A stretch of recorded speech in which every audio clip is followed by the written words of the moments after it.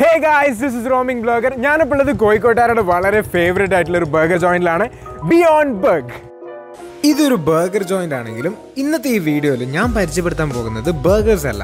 Instead we are introducing Mexican dishes of Beyond Burg first order ചെയ്തായിട്ടാണ് Texas burrito ഇത് ബീഫാണ് നല്ല heavy quantity ഉണ്ട്. Size കണ്ടാൽ തന്നെ അറിയാം. ഇത് കഴിച്ചാൽ തന്നെ വയറ് ഫുള്ളാവും പിന്നെ നമ്മൾ ഓർഡർ ചെയ്ത ചെയ്തായിട്ടാണ് കെസഡിയ ഇതും ബീഫാണ് അത്യാവശ്യം നല്ല സ്പൈസിയാണ് as you all know Mexican dishes are always spicy എനിക്ക് വളരെയധികം ഇഷ്ടപ്പെട്ടു may be because am a spice lover പിന്നെ നമ്മൾ ഈ ഒരു എരിവൊക്കെ പോകാൻ വേണ്ടിയിട്ട് നമ്മളൊരു ഡ്രിങ്ക് ഓർഡർ ചെയ്തു and that is the mango margarita Beyond ബർഗിൽ ഞാൻ കുടിച്ചതിൽ വെച്ചിട്ട് ഒരു വ്യത്യസ്തമായിട്ടുള്ളൊരു ഡ്രിങ്ക് ആയിരുന്നു.